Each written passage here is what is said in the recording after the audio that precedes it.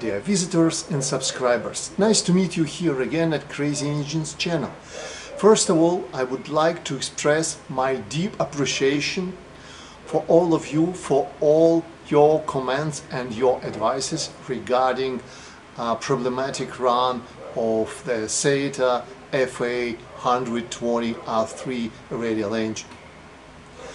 Uh, the work with this uh, engine uh, will be postponed for a week or two and right now I'm gladly introduced you a new Japanese or very, very old Japanese miracle. This is flat twin, the first flat twin from OS engines. This is OS FT 120 Gemini. This is early, first edition. And this video is totally dedicated for the first run of this engine. Thank you for watching.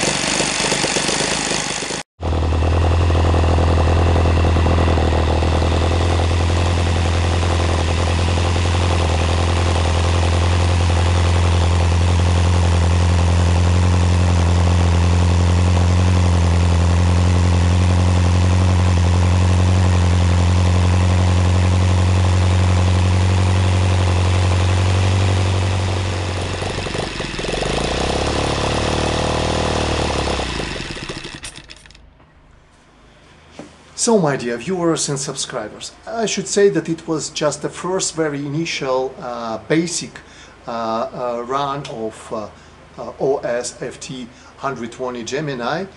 Uh, I make just a very simple adjustments of the high-speed needle and uh, on the low uh, needle practically nothing special just make a few measurements but from these first revolutions uh, of the engine I should say that this is a really very nice and very flexible uh, engine so uh, for sure everybody uh, who works uh, or will work with this engine will be very satisfied from the first step so, thank you again for watching. See you very soon with this engine in the next videos. Have a nice day. Thank you. Bye.